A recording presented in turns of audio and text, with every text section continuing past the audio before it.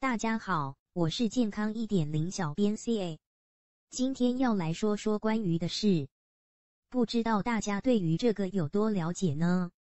一起来看看吧。我们都知道，如果我们身体当中有一些湿气的话，往往会给我们身体带来一些疾病。但是去除身体湿气的一些方法也是多种多样的，像饮食调理、药物以及按摩、刮痧、拔罐等。对于拔罐和刮痧哪个效果更好？下面就让我们一起来了解一下吧。拔罐和刮痧哪个祛湿效果好？拔罐和刮痧的目的都不在祛湿。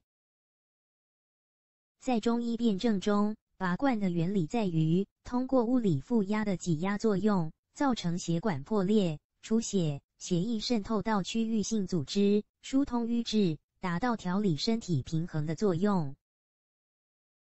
其主要功能并不在祛湿，而在于通经活络、行气活血、消肿止痛、解毒等。同时，拔罐还有泻火功能，常用来治疗各种实症，包括热症和寒症。刮痧与拔罐的原理相似，刮除痧也是同样的道理。通过在经络、穴位上治疗，对于发烧、中暑。感冒等实症有较好的疗效，也能很好的缓解上火等热症。相比之下，刮痧作用在浅部，而拔罐的作用更深层。祛湿主要靠内治，而非外治。湿气重的患者首先要辨证湿的型别，可以采用利湿的药物缓解表面症状。由于湿气重的根本原因是脾胃运化功能弱。因此，祛湿之后还得调理脾胃，从根本上改善体质。湿气重怎么办？食疗一：清热祛湿粥，赤小豆三十克，白扁豆、薏苡仁、木棉花、芡实各二十克，灯心花、川蓖泻各十克，赤茯苓十五克。将川蓖泻、赤茯苓、木棉花、灯心花洗净水煎至二碗，去渣取汁。加入赤小豆、白扁豆、薏苡仁、芡实同煮成粥，温热服食，适用于因暑热而引起的小便不利、胃滞不适、腹胀脘闷等症。二、薏仁茶原料：薏米仁、赤小豆、淡竹叶、马齿苋、芡实。将一小包一舒糖薏仁茶放置一杯开水中冲泡，三横线四分钟即可饮用。每天一杯，简单易操作，淡雅飘香，清热祛湿，是居家和办公室的休闲祛湿首选。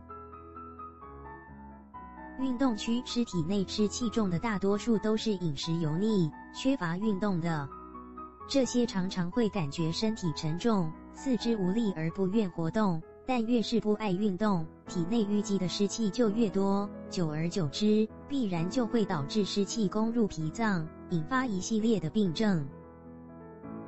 运动可以缓解压力，促进身体器官运作，加速湿气排出体外。跑步、健走、游泳、瑜伽、太极等运动有助活化气血回圈，增加水分代谢。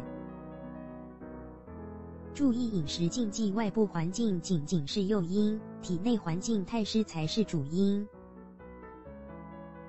中医认为脾胃主湿，所以在湿气如此重的环境中，别吃伤脾胃的食物，比如凉拌食品、冷饮。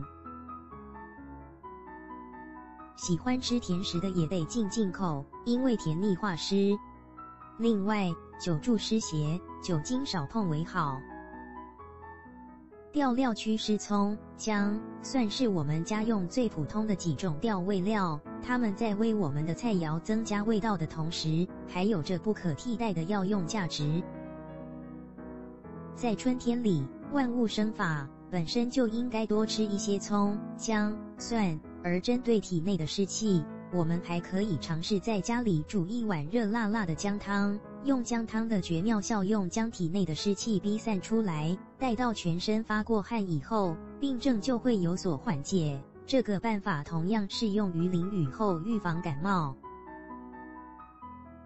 B 环境的是日常生活最好减少暴露在潮湿环境中，尤其对湿气敏感的，更应留心下列事项：不要直接睡地板。空气中水分会下降，且地板湿气重，容易入侵体内，造成四肢酸痛。最好睡在与地板有一定距离的床上。潮湿下雨天减少外出，不要穿潮湿未干的衣服。水分摄取要适量。上面给朋友们介绍了一些关于初级我们身体湿气的一些方法，效果还是不错的。如果我们要想深层的除湿，建议朋友们还是选用拔罐这种方法吧。如果朋友们在平常生活当中配以适量的运动，多吃一些有利于除湿的食物，效果会更佳。看完后是不是觉得 C A 小编在健康一点零分享的迷思破解文章很好呢？